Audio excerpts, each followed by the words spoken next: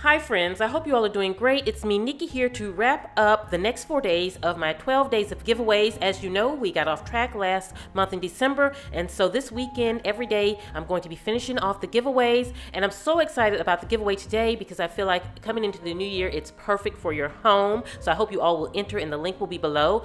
But it's for the Aera Home Diffusing System, and it's really a neat system to kind of make your home smell beautiful. You can operate it from your home remotely. So this is wonderful. It's really compact and so simple to use. And you have these little filters here that you put in, which they allow the scent to go throughout your home. And the great thing about it is it works so great because it really gives that nice, even, balanced smell throughout your space. So I love the fact that I can control it from my, my phone, but I also love the fact that it has a variety of color, uh, not colors, of scents that is just simply uh, great to kind of switch up for the different seasons. So definitely the link is below. I also will link to Aera if you're interested in just checking them out. If you have any questions, let me know. I will see you at the next video. And this is Nikki saying goodbye.